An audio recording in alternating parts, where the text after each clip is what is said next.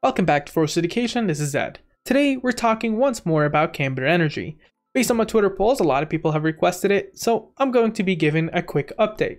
So if you haven't heard about Camber Energy, Camber Energy is a company that has different acquirings uh, in relations towards clean energy, or for instance, like this one here, the renewable uh, diesel facility. They also wear a part of pumps and dumps due to just different uh, quote unquote financial influencers trying to push this one and then selling at the top. Uh, there are a few things to take care of. I mean, this is kind of a, a very typical pump and dump kind of feature. Uh, but nonetheless, we're not going to approach it from just pump and dumps and kind of just brush it off, but we're going to give it a great chance into seeing the company's uh, strength. So, first off, today, Camber Energy markedly improves terms of existing notes. So there's just some improvements there uh, for the notes itself, perhaps to sell more of these notes. Uh, some of them are maturity of January 1, 2027. That is the one in interest. And interest rate is the Wall Street Journal prime rate with interest payable of maturity. And they are convertible at $1.50 per share. Now, they also had another one on December 27th. Camber signs financing agreement to extinguish 46% of outstanding preferred stocks. So for this one again, it's kind of a similar thing that you've seen for January 3rd. So nothing significant there, um, just for the investor side in terms of different news. And on December 21st, 2021, ISS and Glass Lewis recommended Camber Energy shareholders vote in favor of the proposed increase in authorized common shares I did talk about this one before. They're trying to increase their common shares from 250 million to around 1 billion shares.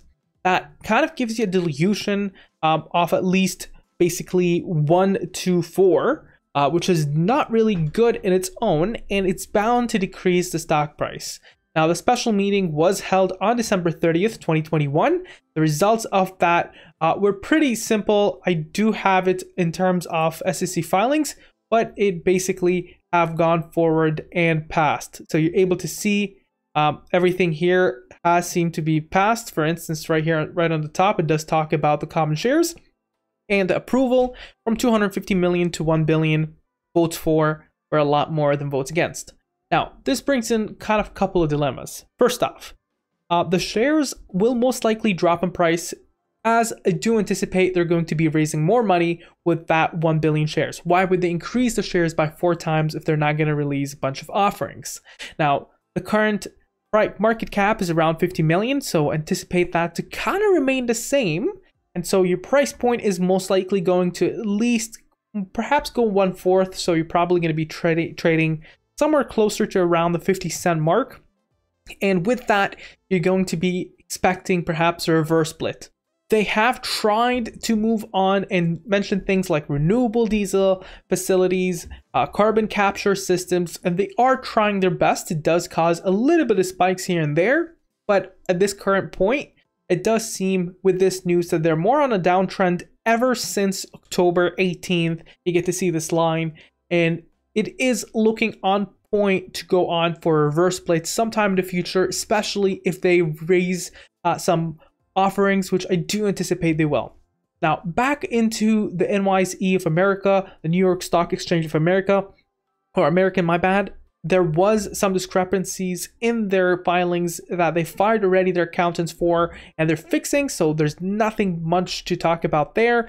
In terms of their fundamentals, there are significant things to take a look at, such as the key statistics. Their profitability of last year was negative 1,445%. Net profit margin is negative 13,109.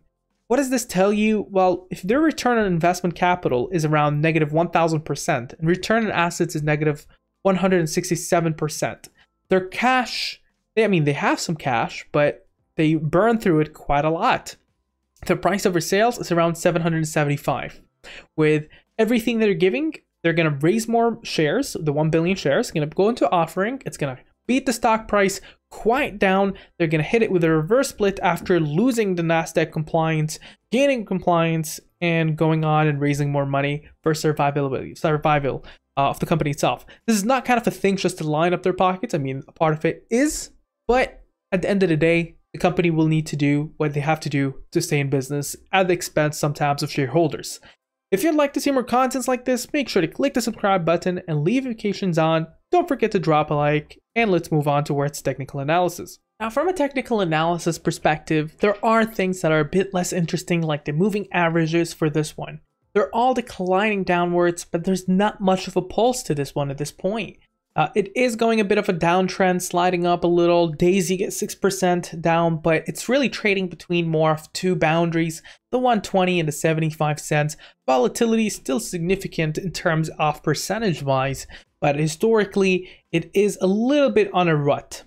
But anyway, ADX doesn't show either kind of strength in either movement directions, 20% R, which is very similar to the RSI, is sitting smack right in the middle of the neutral. It's neither overbought or oversold. The MACD is sitting closer to the zero level, very kind of not really any attention towards a positive or a negative kind of reversals, just very neutral, right on the middle, and momentum is negative 0.19, stable, and not moving really in either direction.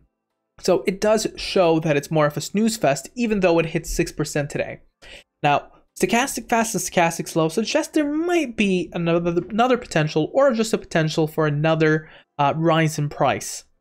Now, the moving average bands are slowly going downwards, and that's a dangerous thing. They're not really pushing up forward uh, as we wish it to, or upwards in that sense, but the stock is a little bit lacking in strength in either direction. Now, in terms of Fibonacci retracements, there is a few resistances, 140, 206, 259, 312, and 388. The support is at 33 cents at Fibonacci retracements.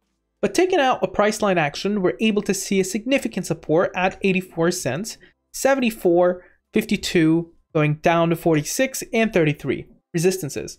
There are a few. You got 94, and then 110, 119, going to 140, going up higher to 154 and then 183 higher to 231 273 312 345 and 485 now it really comes to the question ed what do you think is going to happen here? Well i honestly think that this is all going to repeat itself again. Um, raising money split and then drops back split again and it's painfully most likely going to be following the same thing especially that they've raised the number of shares from 250 million to 1 billion shares. That is critical. Why do you think they're raising that? It is signaling into an offering coming because of them burning a lot of cash, and that is a dangerous sign to be in, and it might be time to jump ship off. Now, I'm not really into short selling, that kind of thing, uh, this current time of my trading periods, but all I'm saying is that this has many red flags at this point, and just don't marry into the stock, or else you'll be stuck and you're not gonna like your offsprings. What do you think about this sticker? Make sure to down in the comments below. Share, subscribe, and like, and have a wonderful day. Now, if you're still here on this video, make sure to drop down below and join our Discord. We have a lot of different things going on, including, for instance, members that gives picks for free. It's not pump and dumps, we just things we think about, swings, etc. We also have really exciting bots. Uh, you can actually use those ones. For instance, we are just testing out this bot, for instance, that gives you Fibonacci resistance points, activities, etc. And we have a bunch of free things, totally free. We run on tips here, and you can ask me questions, suggest stocks, etc. It's a really nice community that has been growing up uh, very fast at a very good rate, and it's totally free. If you would like to join that one, feel free to do so in the description below and have a wonderful day.